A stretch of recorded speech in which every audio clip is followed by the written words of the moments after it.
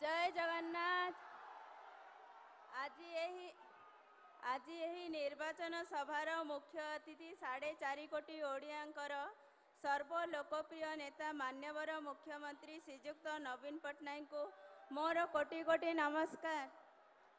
ଏବଂ ଏହି সম্মানীয় अतिथि মান্যবর অধ্যক্ষ फाइव टी ও नवीन ओडा श्रीजुक्त भिके पांडियान सर, मान्यवर मंत्री श्रीजुक्त शारदा प्रसन्न नायक जिला सभापति और पूर्वतन विधायक श्री हालू मुंडारी, विधायक प्रार्थी वीरमित्रपुर श्री रोहित जोसेफ तिर्की, विधायक प्रार्थी राजगामपुर श्री अनिल बरुआ, विधायक प्रार्थी बणई श्री भीमसेन चौधरी ଭୀମସେନ ଚୌଧୁରୀ ବିଧାୟକ ପ୍ରାର୍ଥୀ ତଲସରା ଶ୍ରୀ ବିନୟ ଟୋପୋ ବିଧାୟକ ପ୍ରାର୍ଥୀ ସୁନ୍ଦରଗଡ଼ ଶ୍ରୀ ଯୋଗେଶ ସିଂ ଏବଂ ଲୋକସଭା ପ୍ରାର୍ଥୀ ପଦ୍ମଶ୍ରୀ ଡକ୍ଟର ଦିଲ୍ଲୀପ ତିର୍କି ମହୋଦୟଙ୍କୁ ମୋର ଶୁଭେଚ୍ଛା ଓ ନମସ୍କାର।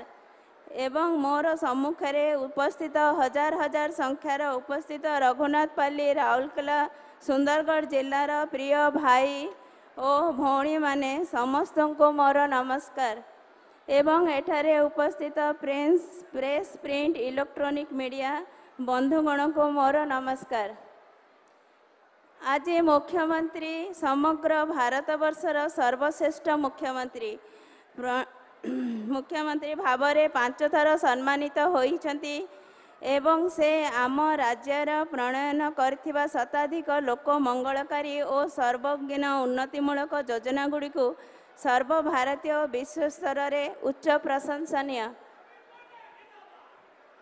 ଜନ୍ମରୁ ମୃତ୍ୟୁ ପର୍ଯ୍ୟନ୍ତ ଶିଶୁ ଯୁବକ ଛାତ୍ରଛାତ୍ରୀ ବୁଢ଼ାବୁଢ଼ୀ ମହିଳା ଗରିବ ଖଟିଖିଆ ନିମ୍ନ ମଧ୍ୟବିକ ସାଧାରଣ ବର୍ଗ ଉଚ୍ଚବର୍ଗ ଆଦିବାସୀ ଚାଷୀ କୁଶଳ କାରିଗରୀ ସମସ୍ତଙ୍କ ପାଇଁ ଏକ ବିଶ୍ୱସନୀୟ ନାମ ହେଉଛନ୍ତି ନବୀନ ପଟ୍ଟନାୟକ।